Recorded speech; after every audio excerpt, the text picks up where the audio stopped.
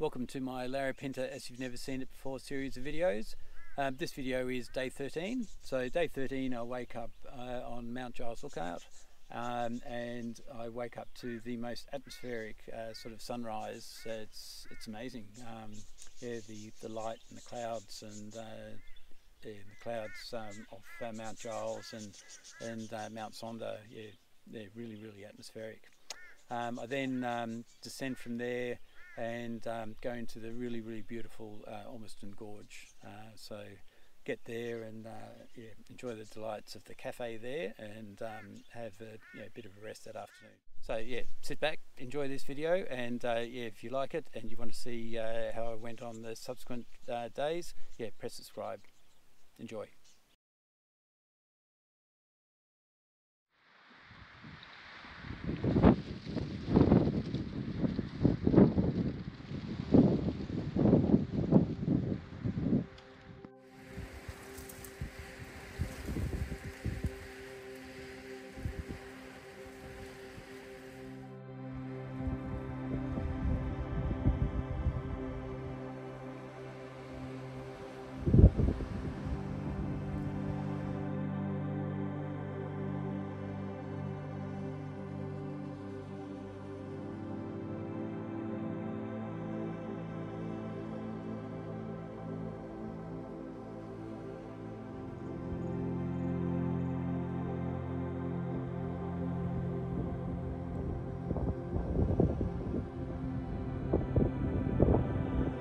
Morning.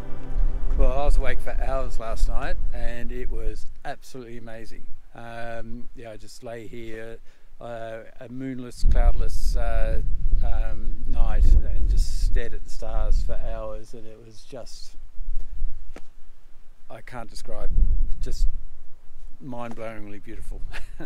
um, and you know, without fail, every night I've seen you know some sort of uh, shooting star or something entering Earth's atmosphere or something. Um, and yeah, just can't believe uh, just how frequent that happens. I don't know whether we're going through a some sort of uh, cosmic sort of event happening hap- at the moment, or um, but um, yeah, there's uh, just lots and lots of activity up there.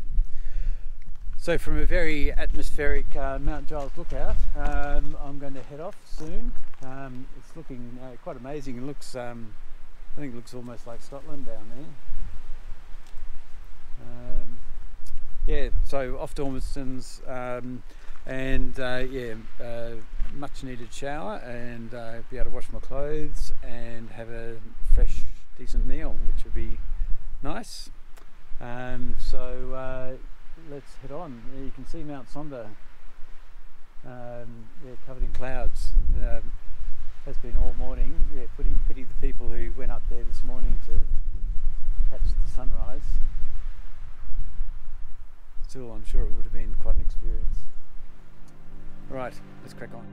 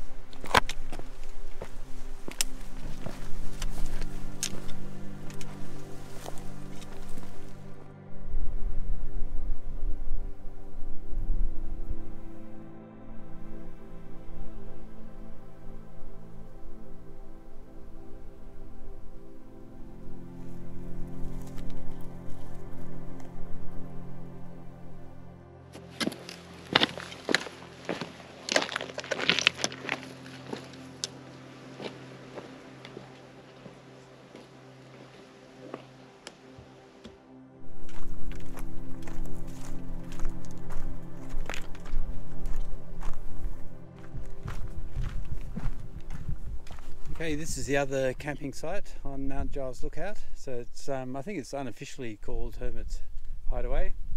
There's a few camping pads and it's a bit more sheltered than up where I was. Some cool spots actually.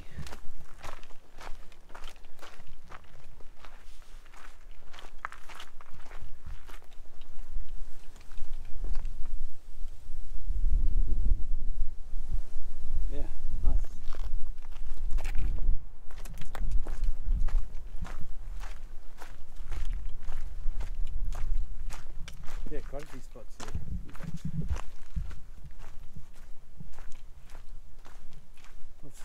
Obviously well used because it's quite clear. Uh, I know there was um, at least three people here last night.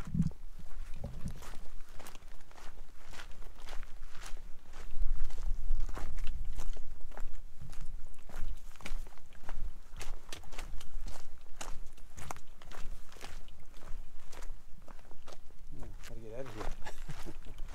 this way. Uh, and there's uh, no reception up here um, which I find a bit strange to be honest. Uh, I'm with Telstra, whether there's Optus reception or not, I don't know.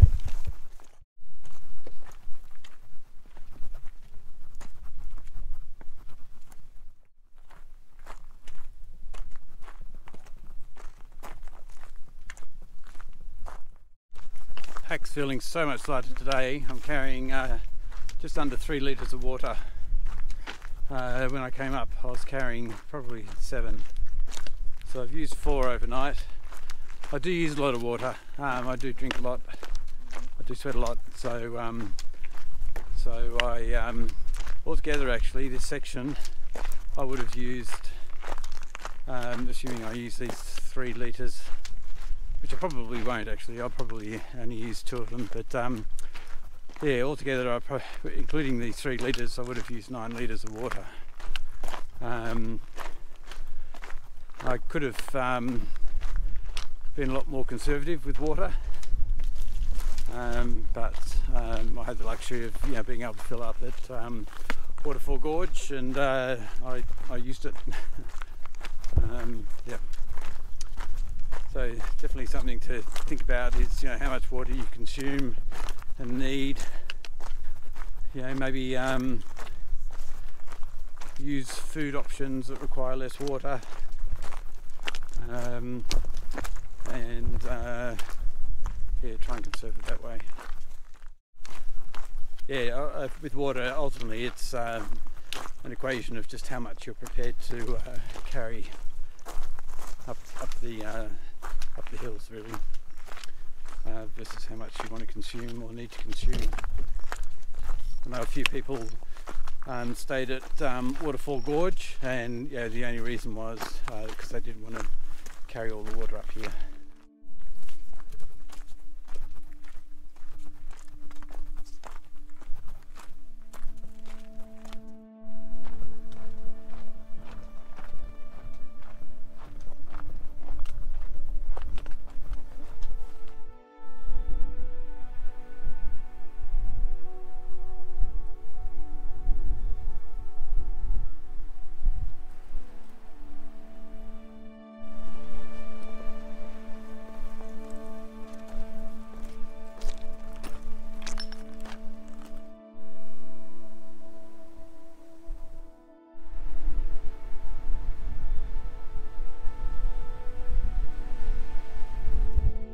Like there's a high route and a low route. There's a low route going down here, um, and there's a high route going across here. I took the high route, um, uh, which was uh, uh, easy enough, but the low route probably a little less scary. A couple of nice camping pads here. You've always got to be wary because uh, they can either be camping pads or ants' nests.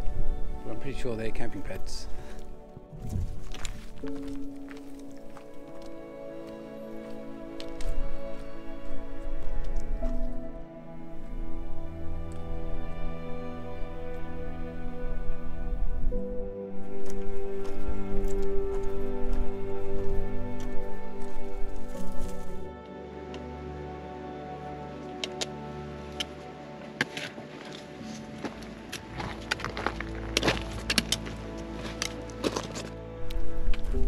Quite a gentle uh, descent, that one. Um, certainly more gentle than the ascent on the other side. Um, AllTrails um, told me when I got to the top of um, Mount Giles that uh, overall I've ascended over five kilometres since the beginning of my trail. Uh, it's actually missed a little bit where I was going up um, Brinkley's Bluff. But yeah, five kilometres. That's a long way, long way up. Uh, well, this is what's uh, very unromantically referred to as base base of hill camp spot. Uh, interesting, the um, AllTrails uh, route had a lot less switchbacks than there are now, so they must have put in a few extra switchbacks just to make it easier.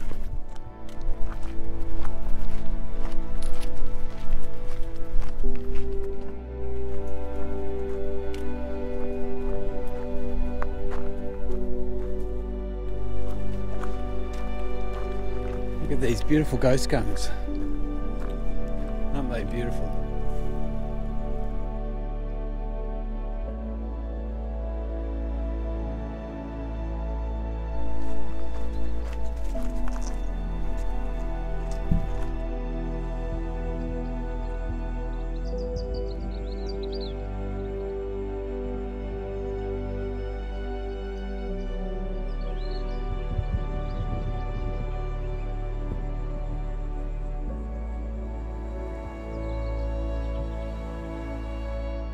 I'd say uh, I do find the uh, southern side of the Heavitree Range a little less inspiring, but um, still delightful. Uh, yeah, those little finches, for example, or you see wildflowers you haven't seen before, or you're walking through these lovely little mulga forests with the shade. And looking up at the heavy tree range and seeing the rock formations up there.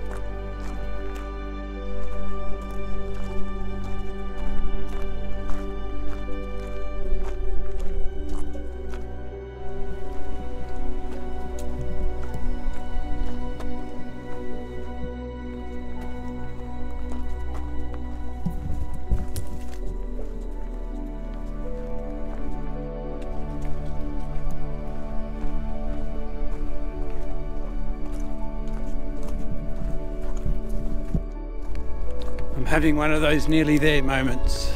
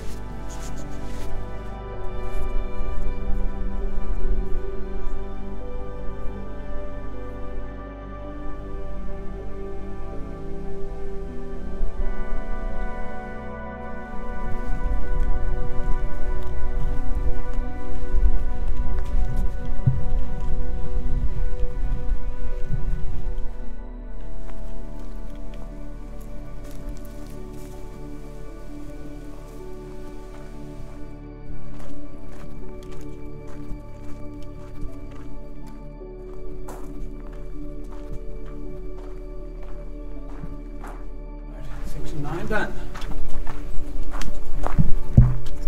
Hello. Uh, I've just had the best shower of my life. Um, yeah, it was so good. Can't tell you. Um, and just sitting down to some um, dinner. Um, sleeping under a tent tonight. Uh, there's a few people around, so uh, yeah, more for privacy reasons really, just to uh, sleep in a tent. So I suppose I might as well use it. um, so yeah, the uh, the walk down actually was um, yeah, fairly easy actually, um, and I got back or got here at about uh, I think about uh, one one thirty. So it took about four and a half hours to get uh, down from um, uh, Mount Giles Lookout, which yeah, not too bad. Um, it's fairly um, fairly warm, but yeah, yeah, quite quite an easy walk. Um, had a couple of their focaccias, so uh, yeah, they were a treat and a, a smoothie, which is really nice. Um, and uh, yeah, generally just sort of tossed around. And I had my food drop, so I've sorted through all of that. I've decided to kind of ditch, uh, you know, a whole bunch of things that I just haven't used so far in the in the um, in the hike. So yeah, just sort of just um, and there's no forecast for rain, so I'm I'm taking a risk and um, yeah, not bringing my um, uh, poncho. So hopefully that'll be the right thing to do. Um, yeah, so just gonna have have some dinner and then uh, yeah, get to bed. And tomorrow we'll do the pound, which I think will be quite interesting. Um, also, yeah, listen to a sort of Parks and Wildlife um, talk, just the amphitheatre here. So yeah, that was um, yeah reasonably interesting to hear you know what they're doing about you know feral animals and stuff like that. And um, yeah, I hadn't realised all that grass that I've been walking through today um, is buffel grass, which is uh, introduced.